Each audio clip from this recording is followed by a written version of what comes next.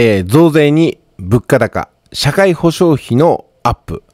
いや、本当にね、私のね、親父もね、医療費が2割負担になりまして、なんか、支払い金額がでかくなったんで、病院に行く日数を減らそうかな、みたいなこと言ってましたね。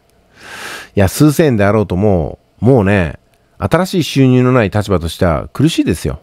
まあ、ですんで私がね、毎月小遣いを上げないといけないかなっていうとこですけども、さあ、そんなね、国民が苦しんでる中で、まさに、投資の初心者向けに発売された新 NISA というものがあります。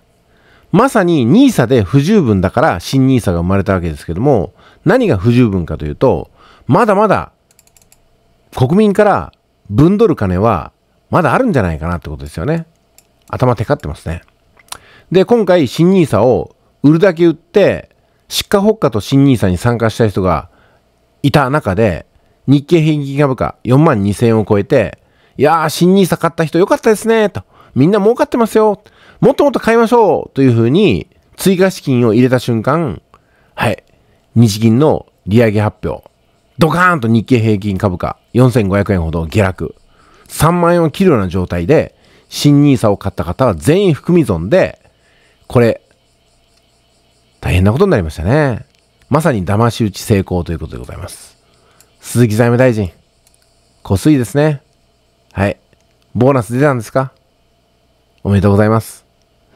さあ、そんな感じで、今更、で、のこのこ出てきてね、新 NISA は何、長期積み立て分散投資の重要性を考慮して冷静に判断を？でバカ野郎と。それはね、買う前に言えと。新 NISA を煽るだけ煽って、新 NISA を買うのはまさにね、初心者で、こんな視点なんて持ってない人が買うわけですよ。ね。だから老媒売りが今進んでるわけでしょ老媒売りをするってことは損切りするわけですよ。損した分は誰の利食いになってるんですか？おめでとうございます。おめでとうございます。あなたでございます。ね。あなたにも紹介料という報酬が入ってるでしょう。ね。こすい。こすすぎる。しかも、今回の報道を受けて、各マーケット大混乱でございます。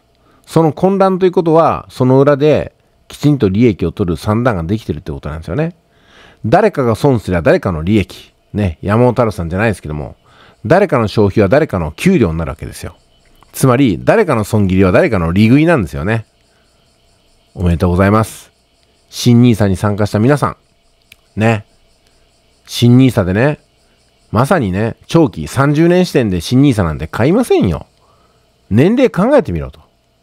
nisa を買った人ってのは、貯金が溜まり始めた50代、60代の人ですよ。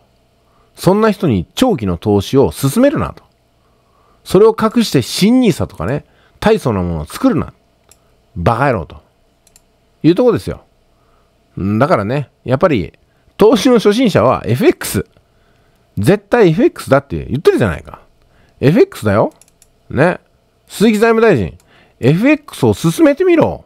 正々堂々と。ね。FX でしょ、どう考えても。値下がりしても利益を取れるわけでしょ昨日まで値上がりを目論んで資金を投じていた人も急落した時には反対方向の売りで交わせばいいわけでしょそしたら売れれば売れるほど儲かったになるわけですよ。クイックレスポンスができるわけですよ。新 NISA はできないでしょ？何言ってんだ？右肩上がりじゃないと儲からないよな。新ニーサとかやってられっかと。いうことで終わりです。